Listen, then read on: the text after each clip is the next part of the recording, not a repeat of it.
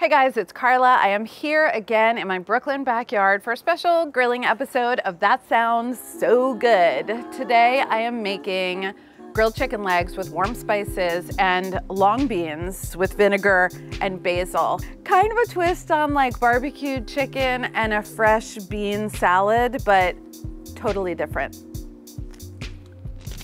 If you thought that I wasn't gonna be able to talk about a legume in a grilling episode, you are wrong. Long beans, thank God, are legumes. And you guys know how much I love a bean.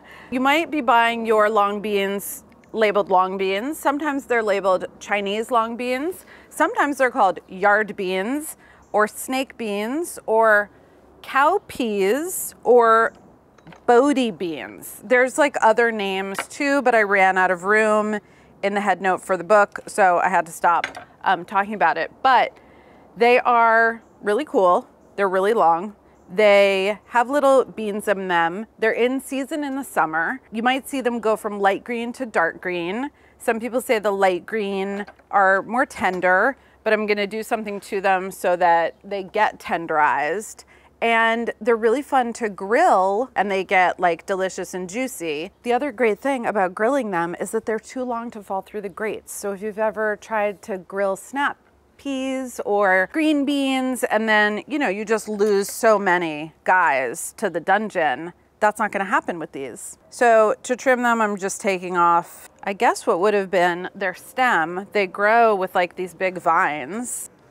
Okay eaten by themselves just like this, they're gonna be pretty tough. They're very, they're like fibrous. They don't have the nice thin skin of a snap bean. So I'm gonna get them in this bowl. Um, yeah, I gotta get this last batch into the bowl. okay. All right, so for seasoning and then a braiding, I've got kosher salt, a good amount of olive oil, some peps. I enjoy these sorts of tactile things. You want to get in there with your hands and start like bending and squeezing. It's like when you're at a rave and you got to activate your glow stick. It's kind of like that. So you're going to squeeze these. You can bend them. You can bash them. That just helps kind of break up this fibrous layer and it starts to tenderize them. I'm seeing a difference. There are these dark green kind of mottled spots. It kind of looks like the shell of a lobster, you know how it has that like speckly green? And they're just softer. They're like noticeably softer. Great. I feel terrific about my squoze and beans. Okay, here's the thing. The beans want high heat. My chicken wants medium heat. Sometimes it can be very hard to get all of your grilled dishes off of the fire at the right time together. In this pairing, it's great because your fire is gonna start very hot and then come down. So when it's in its very hot phase, you're gonna do the long beans. And then when it comes back to medium, then it's chicken time. And then you don't have to like refill a charcoal or anything. You get 100% of the life of that fire in these two recipes juiced up about it. You know what's wrong with barbecue chicken is that it is often in a wet and sugary and tomatoey and sweet barbecue sauce and that burns. And this is why a lot of people have trouble grilling chicken. I am not gonna do that today. I'm going dry spice, which is a place that I love to be, starting with cumin seeds. I have star anise, which are beautiful and magical and special and so cool in a very cool nature is really cool kind of a way. Star anise, if you haven't had, this has like a black licorice flavor. So if you don't have star anise, you can use anise seeds, you could use fennel seeds, and if you really, really hate the vibe of that licoricey flavor, leave it out or switch to coriander seed, which is a slightly different vibe. So before these go in the spice grinder, I'm just gonna break off the petals. To that, I've got ground turmeric, ground cinnamon, and Aleppo pepper. Cinnamon and ground turmeric you could see combined in like a Moroccan style spice mix. You will see star anise and cinnamon together with other spices as part of a Chinese five spice. What those have in common and what's very different from like a tomatoey maple molasses vibe is going more into like warm, toasty baking spices. These spices are already ground up, so I don't need to add them. I'm just gonna grind these guys first. If you have a mortar and pestle and you feel like bashing and banging, then do that. Coolio. So it's sandy, fine, aromatic. Adding that to that. The turmeric and the Aleppo are gonna give the chicken kind of just the most gorgeous golden brown color. Really rich and warm and terracotta-y. All right, before I put the spices on, I'm going to season with kosher salt generously, both sides. The other thing that just absolutely sucks about grilled chicken is that people are often grilling chicken breast. And if you have not seen the shade that I threw all over chicken breasts in my other video, you don't already know that I just find chicken breasts to be not the best part of the chicken. Let's put it that way. The leg and the thigh, that's the best part also the wing. So the reason chicken breast grilled is kind of a downer is just because it's lean and it has a tendency to dry out. So if you're making barbecued chicken with a sauce, the sauce is now burnt and you have dried chicken. It's just a total drag. Legs are juicy, they have more flavor, they have more fat, and they're more forgiving. If you overcook them, you're less likely to really notice because they have so much of their own goodness that keeps on keeping on. All right, it's gonna look like a lot of spices, but you're gonna use it all.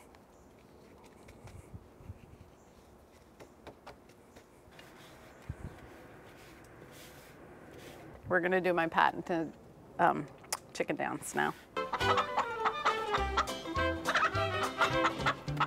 It's a weird dance because you have to get the whole side of your thigh down on the surface, but the chicken can do it.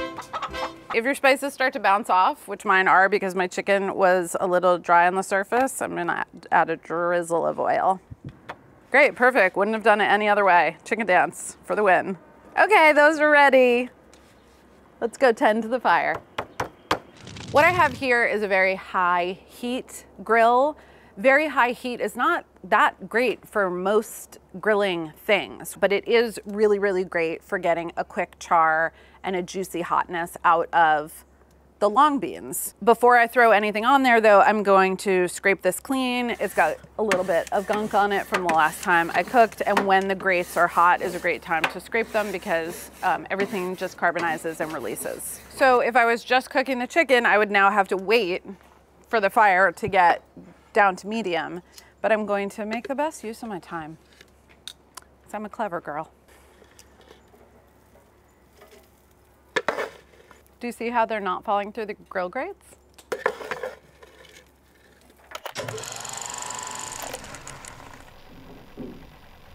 Oh God. the irony. Thou shalt be cleansed by fire. If only it was that easy for the rest of us. Mmm, sizzle. These should take somewhere between five and seven minutes, so it's not very long and you don't want to walk away. Just turn them occasionally. So I want to see grill marks coming around the side where the beans are connecting to the grill grates. And also in those spots, there's going to be juiciness. I think I referred to hot juiciness moments earlier. And so that's, that's what I'm looking for. Beans are looking the way I want beans to look. They look shiny, they look floppy, they look charred in spots, they look juicy, they look good. Listen, if you're intimidated about grilling, I just want you to think about grilling like any other cooking. Grilling is heat and time. That's all cooking is ever. All the gradations of the heat and all the gradations of the time. This has heat, time is always happening. So that's really all you need to know. If you can control the heat, or at least have an awareness of the heat, then you will just have to go with time because we can't control that. on the plane of being that you're on, you're gonna be sort of the heat sorcerer in your life. And then you just have to be one with time and kind of know what's going on and not space out. That's it. That's all cooking is. That's all grilling is. That's all sunbathing is, frankly.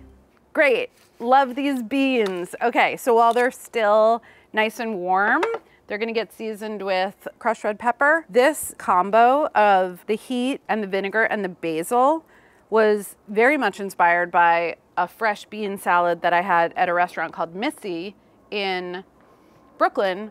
It must have been several years ago because it was pre-Pani. Um, and I remember it very clearly and I took a picture of it and it was delicious. So thank you, Missy Robbins, for inspiring the flavors in this dish. This is a very bright and tangy red wine vinegar. This bright vinegary flavor is gonna be a really nice combo with any grilled dishes because of the smoke and the deepness and the savory flavor. So that's why it's always really nice to have like a bright, crunchy, vinegary thing. Okay, let's try a bean. Mm. I am gonna throw a ton of basil into this, but I don't wanna do that until the chicken is close to being done because it will wilt. So the beans wait for basil and we grill chicken. Here's what happens when you light coals. They go from inferno to very high heat. That was long bean territory. And then they keep going down, medium high, medium, and we're gonna capture that in between time as heat sorcerers. That's what's happening. So able to hold my hand over four-ish seconds. That's a medium, medium high. And I'm going to cook the chicken over this level of heat to give it time to really cook all the way through. Nobody likes raw chicken at a barbecue, as it turns out. And to let the fat render, and to let the skin crisp, and to let these spices get nice and toasty. We're not jumping all around, we're not having a flame shooting, we're cooking, and we're being chill about it. The total cook time on the chicken is gonna be somewhere between 25 and 30 minutes, but right now I'm just gonna ride this mellow, medium heat situation. I'm giving these a first flip and a little reposition. The skin side is getting nicely colored, and I don't want the skin to burn. My chicken looks amazing. It's really beautifully brown on both sides. The skin is super crisp. The timing is aligning with what I wrote in the book. But really the best way to tell if the chicken is done is to take the temperature. And there's no like glory in trying to guess and being wrong.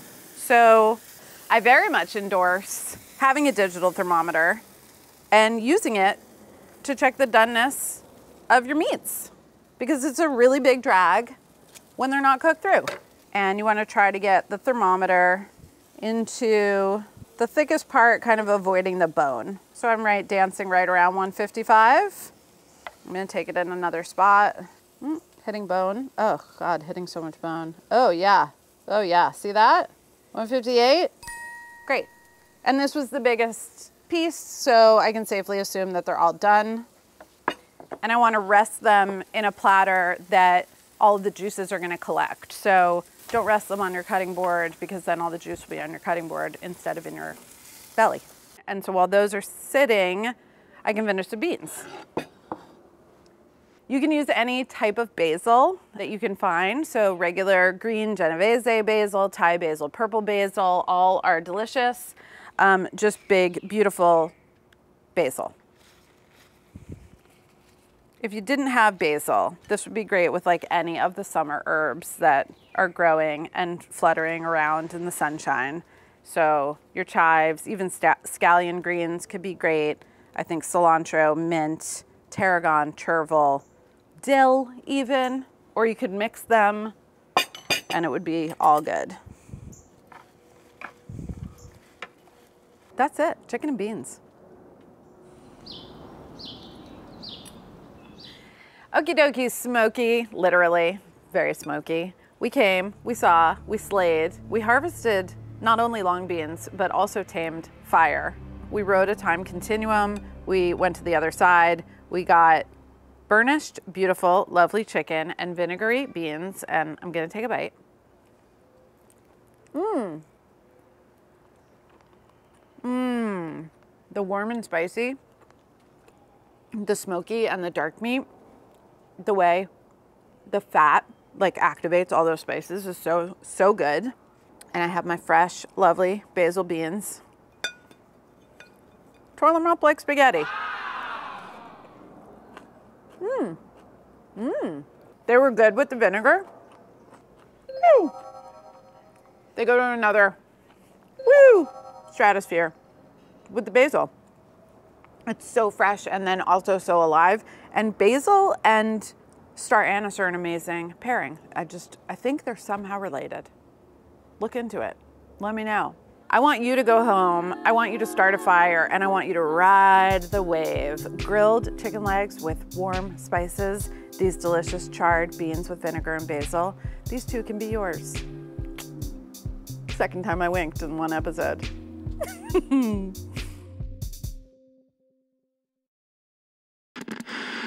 Are you like me? Do you love cooking outside and grilling in the open air, but you hate the mess?